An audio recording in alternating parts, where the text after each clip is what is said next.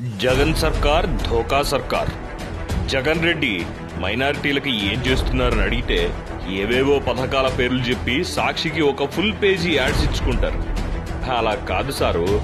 ముస్లింలకి ప్రత్యేకంగా ఏం చేస్తున్నారు అని అడిగితే మళ్ళీ అవే పేర్లు చెప్తారు. ఎందుకంటే గత తెలుగుదేశం ప్రభుత్వం ముస్లిం మైనారిటీలకు ప్రత్యేకంగా అమలు చేసిన పథకాలను అధికారంలోకి రాగానే రద్దు చేసేసి ముస్లింలకు గట్టి ధోకా ఇచ్చారు జగన్ రెడ్డి.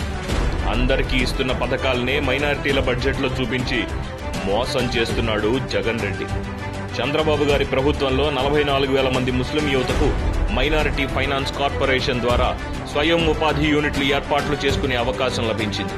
దీంతో పాటు దుకాణ్ మకాన్ పథకం కింద గ్రామీణ పట్టణ ప్రాంతాల్లో ప్రతి ఏటా వెయ్యి మంది ముస్లింలకు ఇల్లు షాపు నిర్మించుకునేందుకు ఆర్థిక సాయం అందించేవారు. యూనిట్ విలువలో యాభై శాతం గరిష్టంగా లక్ష దాకా సబ్సిడీ ఇచ్చేవారు.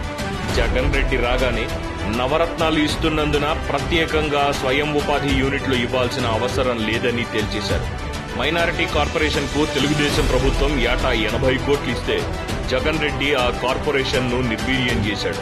గత ప్రభుత్వం దూదేకుల కులానికి చెందిన వారికి సంక్షేమం కోసం ఫెడరేషన్ ఏర్పాటు చేసి రెండు వేల పంతొమ్మిది ఇరవైలో ఇరవై కోట్ల బడ్జెట్లో కేటాయిస్తే జగన్ సర్కార్ ఆ నిధుల్లో ఒక కోటి నలభై లక్షలు మాత్రమే ఖర్చు చేసి ఇక ఫెడరేషన్ మాట మర్చిపోమంది.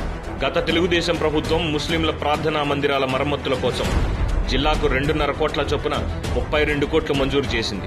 రెండు వందల ఇరవై ఐదు షాదీఖానాలను నిర్మించింది. జగన్ సర్కారు నామ్కే వాస్తే అన్నట్టుగా షాదీఖానాలకు పది కోట్లు కేటాయించి ఇక ఆ ఊసెత్తడం లేదు.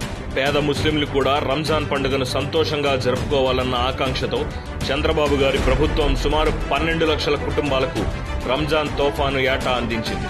ఇప్పుడు ఆ తోఫాను సఫా చేశాడు జగన్ రెడ్డి. గత ప్రభుత్వంలో దుల్హన్ పథకం కింద నిరుపేద ముస్లిం యువతల పెళ్ళి ఖర్చుల కోసం యాభై వేలు ఇచ్చేవారు. ఆ పథకాన్ని కూడా రద్దు చేశాడు జగన్ రెడ్డి. విదేశాల్లో ఉన్నత విద్యాభ్యాసం కోసం ఉద్దేశించిన ఎన్టీఆర్ విద్యోన్నతి పథకాన్ని మైనారిటీలకు అమలు చేయించారు చంద్రబాబు గారు. ఒక్కో విద్యార్థికి పది లక్షల చొప్పున సాయం ఉండేది. ఇప్పుడు ఆ సాయాన్ని నిలిపేశారు జగన్ రెడ్డి.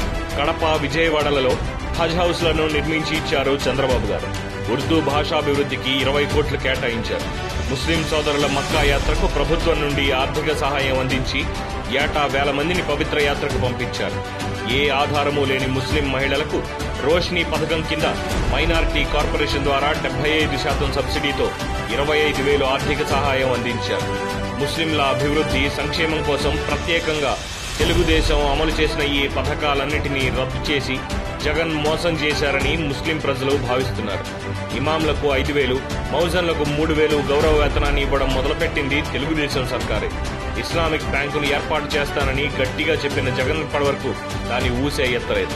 పోలీసుల వేధింపులతో నంద్యాలలో సలీం కుటుంబం ఆత్మహత్య చేసుకున్నప్పుడు గాని మైదుకూరులో జగన్ రెడ్డి బంధువు తిరుపాల్ రెడ్డి ముస్లిం మైనారిటీ అయిన అక్బర్ బాషా భూమిని కబ్జా చేసినప్పుడు గాని జగన్ రెడ్డి కనీసం స్పందించలేదు.